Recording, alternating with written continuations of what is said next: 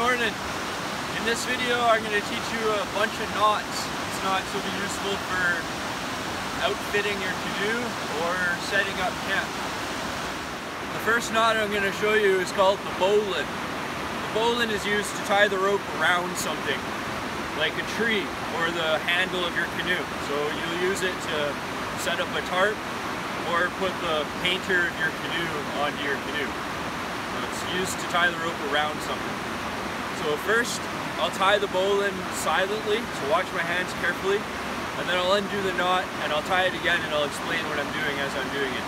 So watch my hands carefully.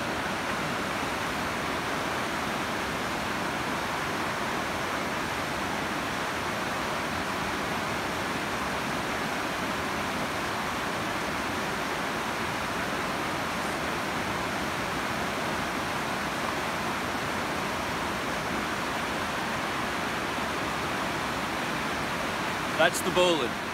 So now I'm going to tie the bowline again and I'll explain what I'm doing as I'm doing it. So watch my hands carefully. So first I make a loop and I hold it flat like that and the running end here, it's on top.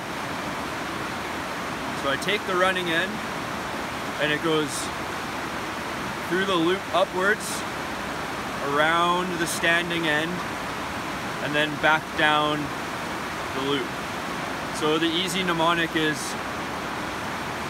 the rabbit comes up the hole, around the tree, back down the hole. So now I got it looking like this. I grab it here, this little standing end and the side of the loop, and I grab it here and I pull it tight, and I got a bowline how to tie the bowline around something. In this case, this alder tree here. So I'd do this if I was putting up a tarp or this how you tie the rope around a tree. So I start with making the loop. I hold it flat like that. And then I take the end and I wrap it around the tree or the canoe handle, whatever I want to tie it around. Like that. So and then I just continue with the normal bowline. The rabbit comes up the hole, around the tree, back down the hole. There you go. Tied the bowline around the tree. The next knot I'm going to teach you is called the trucker's hitch. The trucker's hitch is used to tighten the rope, to make it nice and taut. So you'd use it if you were tying your canoe down to the rack of your car or uh, to make a ridge line to throw a tarp over. So I've already pre-tied a bowline onto this tree. Now I'm going to try a trucker's hitch onto this alder here and it'll make a nice tight ridge line. So first I'm going to just do it silently, watch my hands carefully, then I'll undo the knot and I'll retie it while explaining what I'm doing. So it looks like this.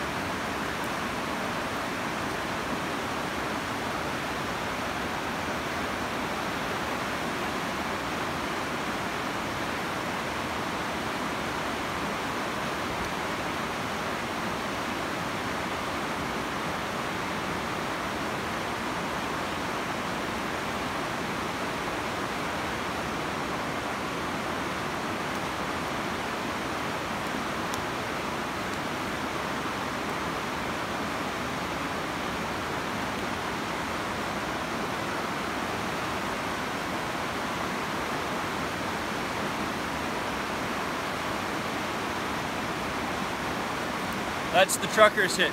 Got a nice taut rope here. So first I start with a loop. And then I take a bite of the rope here and I stick it through the loop and I pull that tight. So I got a loop there. Then I take the rope wrap it around the tree.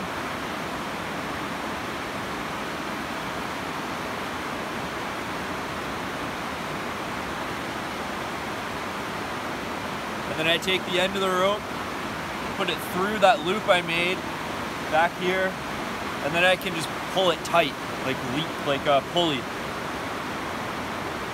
Real tight. Take my other hand and I sort of pinch it like that to keep it tight. And then I tie two half hitches. I just go like that. To lock it. And that's how you tie the trucker's hitch. Makes a nice taut rope. Now I'm going to show you how to do a, a more zoomed in detailed version of the half hitch, which finishes off the trucker's hitch. So I got it like this. I take the running end here and I just feed it through this loop and pull it tight. So the half hitch, that's one half hitch, and then I tie a second one to lock it off. So hold the rope like this and just feed it through that loop that you've made here.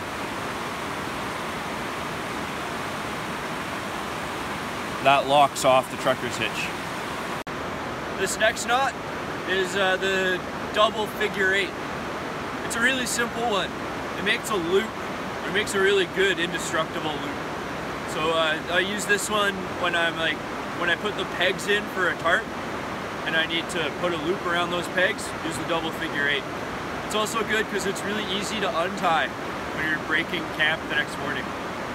So I'll show you how silently and I'll undo the knot and I'll walk you through it. Double figure eight looks like this.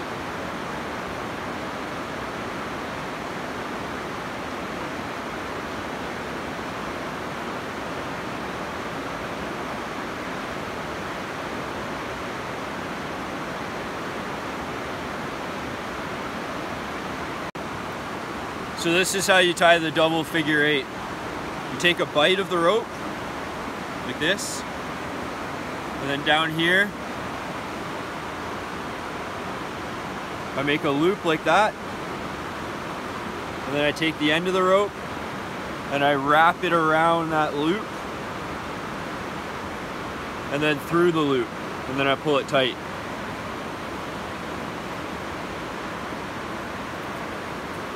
And now I have a loop here.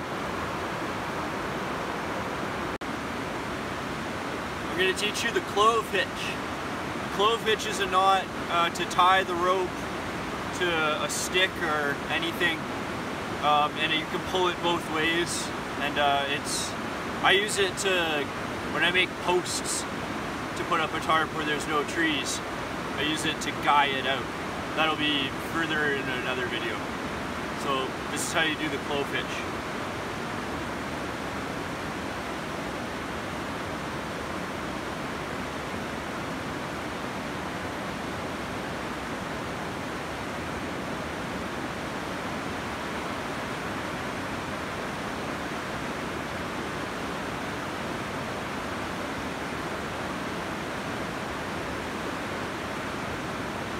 Looks like that. Watch my hands carefully, I'll explain how to tie the clove hitch. So first you make a loop, then you make another loop, but they're opposite. See the one of them's got the rope behind it and the other one's got the rope in front. Then you cross the two loops over so that they're the rope here and the rope here are behind each other. So it looks like this. not like this. Like this. And then you put the loop over the post and pull it tight. And you'll know you've done it correctly if it's got like uh, two parallel ones with two parallel strands with one strand coming diagonally over that. That's the clove hitch I'm gonna show you a good way to coil a rope for storage. So to get the coil, I just wrap it around my elbow and my thumb here.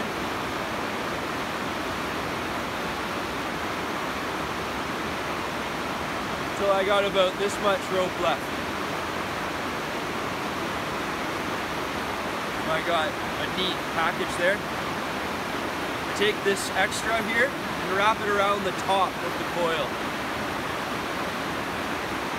Like that. Just wrap it around.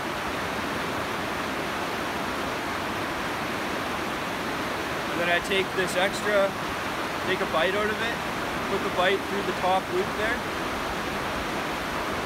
So I got it like that. And then I take this end and I put it through that loop I just made and then pull it tight. And now I have a nice coiled packaging rope here. The key to getting good at knots is just practice. You just gotta do it a lot. Just let your hands absent-mindedly tie knots. Eventually you'll get good enough that you can do the hard ones with your eyes closed.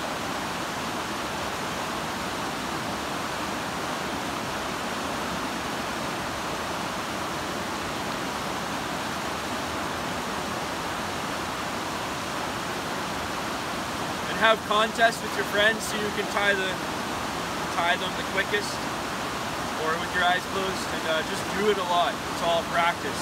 Invent your own knots, maybe some of them will work better than this. So again, just do it a lot. That's how you get good at knots.